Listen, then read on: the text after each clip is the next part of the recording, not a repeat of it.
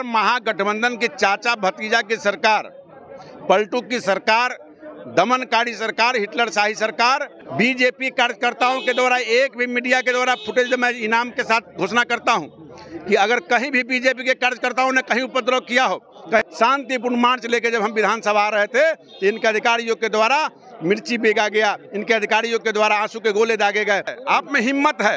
आप तमाम अधिकारियों से तमाम नेताओं से तमाम मीडिया के साथियों से मैं कहना चाहता हूँ। नीतीश कुमार गद्दी छोड़ो।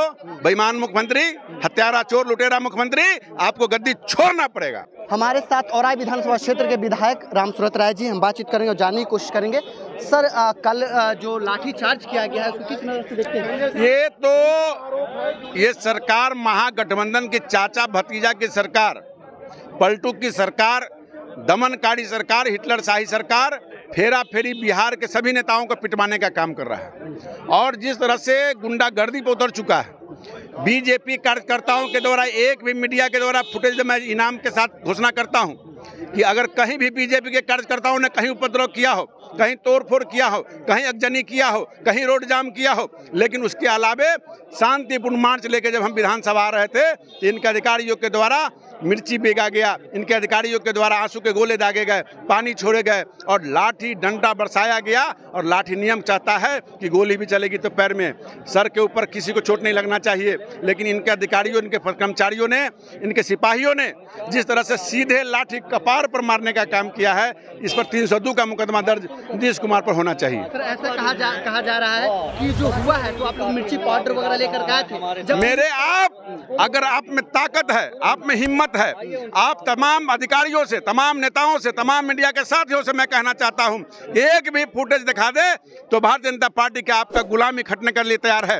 कोई भी कार्यकर्ता एक भी उपद्रव नहीं किया है। ये लोग जान करके स्कूली बच्चे को उस रैली में धकेलने का काम किया हम लोगों ने बचाने का काम किया है। आप लोग गुंडा को भड़बड़ के लाए थे बस में ऐसा कहा जा रहा है। ये तो खुद गुंडा है।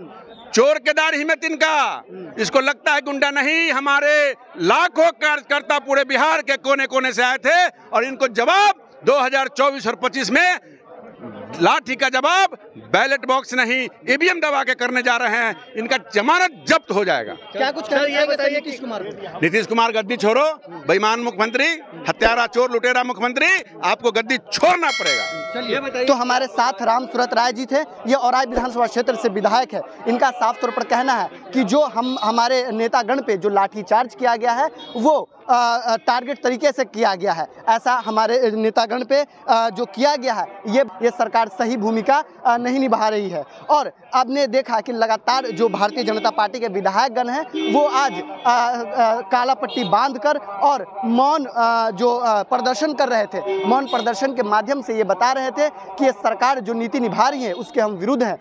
सिर्फ़ जो विपक्ष में है विपक्ष के लोगों की बात नहीं सुन रही है।